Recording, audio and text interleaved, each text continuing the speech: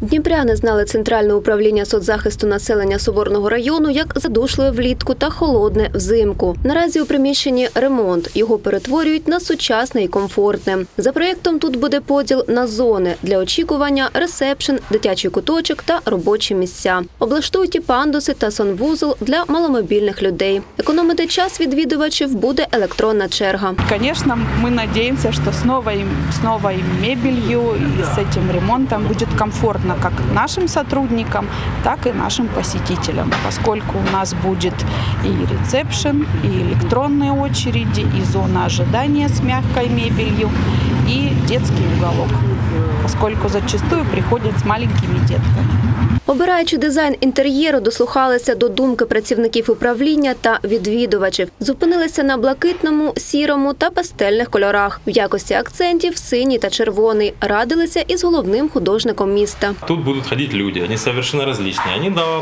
должны видеть то, что э,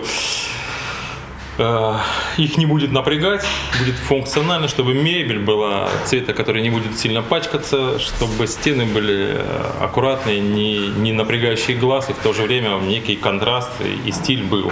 Поки триває ремонт, відвідувачів приймають в іншому приміщенні. Сюди щодня звертаються за різними видами соціальних послуг до двох сотень людей. Ремонтні роботи планують завершити цьогоріч. Альона Гребельник, Ярослав Засоба, Open News, телеканал відкритий.